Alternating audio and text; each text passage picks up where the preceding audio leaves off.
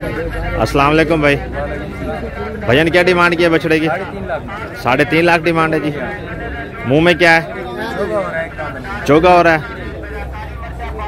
वज़न, गोश्त का वज़न कितना है? साढ़े पाँच मन। साढ़े पाँच मन वज़न है जी इसका। क्रास में है ये। क्रास में बछड़ा है जी। ये देखें जी नाप झालर वाला बछड़ा है जी। साढ़े तीन डिमांड कर रहा है जी इसकी। ये देखें जी।